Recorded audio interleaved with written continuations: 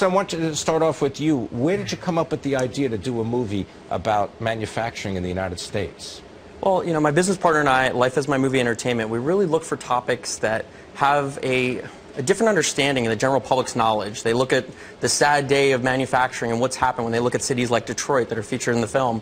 But what they don't realize is that as consumers, they can take an invested interest to really change the face of manufacturing in the country. So we feel that documentary really has the power to open people's eyes and give them the knowledge of realizing what part they play in something like a topic like manufacturing. Mark, how did you get to be involved in this project? Yeah, I was blessed with a phone call, really, uh, and uh, you know Nathan and Vincent found me.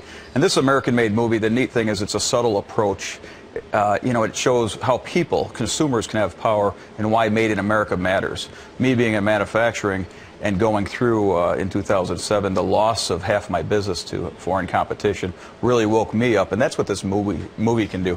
When people see it they'll realize you know where we are what we what we're doing now what we need to do, do for our children's future. Tell us a little bit about your business and how you learned about these changes that well you may not have thought of before yeah, you know, general welding and fabricating, our motto was you dream it, we build it. So Okay. we're retail, commercial, industrial, but uh, we do a lot in the metalworking industry. And, uh, you know, I fabricated these uh, fence uh, posts and made a product that was, uh, you know, we had for 10 years uh, through the, uh, you know, 90s. Um, and uh, once I, it was a large account for my company, almost more than half. But foreign competition kept lowering the price, lowering the price. They wanted more and more cost out of it. I drove with quality. I had the BOCA certification, the welding specs, the, you know, PSI and the metals, but a top quality product. And then we lost, uh, I was forced uh, to lower and lower. And at one point, you can't lower anymore. So it ends up being, uh, you know, China uh, that actually took half my business, and it affected me directly. When we need work as a company, you don't have work, and then you start laying good people off. Vincent, what did you learn from making this movie? You said it's, uh, uh, Mark said it's a subtle story. Yeah, you know, I've taken more conscious effort now to look at the label and look at where things are, you know, produced or what it means. And so it's not just about manufacturing with the country, but looking at things in our own communities, you know, like Right, but I, but I got a pressure. I mean, haven't you also been in the circumstance where, you know, you hear people say, you know what, I'd love to buy that product, but I'm going to buy the one that's less expensive. It doesn't really matter where it's made. It's a commodity, and, you know, it flies off the shelf. You know, people do make choices now Right. based on price point, but I think that when they realize that they're embracing something in their community, they will make an invested interest to invest in their state, their local area, or this country. And it's also it's cost comparative. Like let's take a, a shoe for instance. New Balance is one of the companies we feature in the film, and New Balance sneakers are pretty much priced the same as Adidas or Nike or a lot of others, and it's a good product. So to see And that, some of them are made in the United them are made States the and United States. Massachusetts. Exactly. And so it's only 25%, but the point that they're taking an invested interest in this country, I mean, we could get behind that, you know, and feel like my money when I spend it and know the people behind the products or know that it's benefiting our country.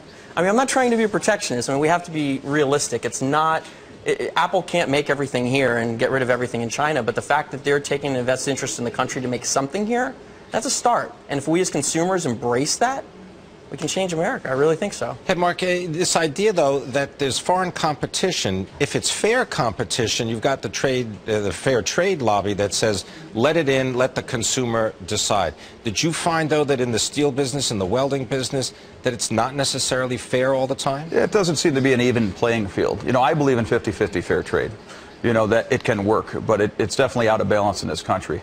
Um, you know, if it's labor or uh, different incentives for the companies to stay here. So the movie kind of shows where we were, where we are, what we need to do, and our Made in America store, you know, trying to gather products that are 100% made in our country. But it really shows you where we are as a, as a country, you know, as a company and as a country. But it's not fair trade, and that's what we ask for, more of a fair trade. Uh, Is it also, uh, does it also uh, sort of uh, take away from the country's ability to produce new products in the future because you don't have the actual talent to manufacture things? Yeah, it's a big problem for me finding skilled workers. Really? A major problem, and that's one problem with the growth of the country too. We've got to get back to skilled trades and uh, you know allowing that in our school systems. And it's okay. Right now, I'm having trouble finding welders, machinists.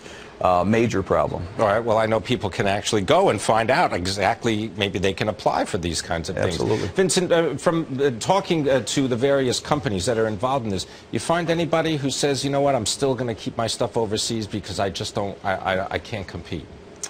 You know, there were a few that were going over at the time we were making the film. Right. But um, ultimately, I feel like it's a division between a publicly traded company and a privately held company. If you and I own a business together, we can have, you know, great ideas of what we want to do to help our community, our state, or this country.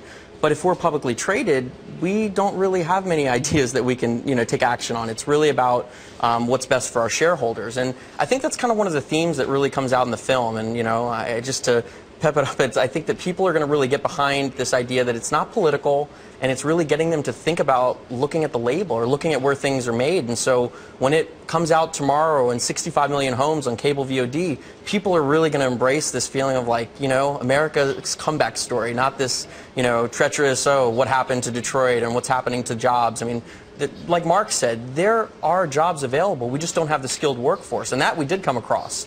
Places where you see a machine and there's a job there for, you know, $70,000 a year. right. And yeah. it's like, oh, well, I don't have someone employ- to employ here. So.